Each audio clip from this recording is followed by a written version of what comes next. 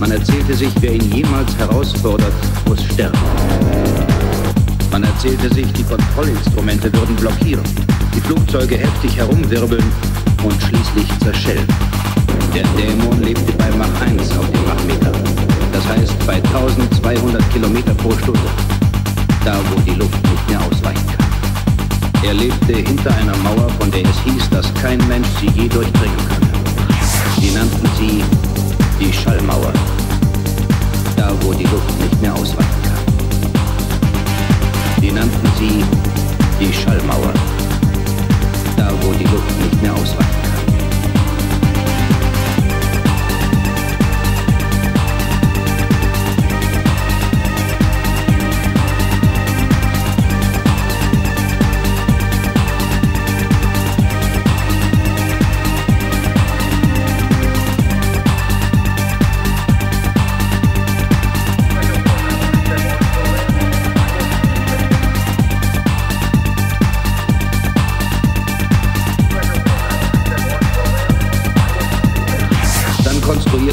Kleines Flugzeug, die X-1, um den Versuch zu wagen, die Schallmauer damit zu durchbrechen.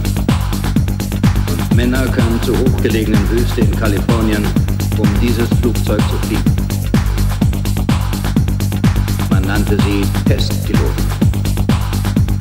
Und niemand kannte ihre Namen.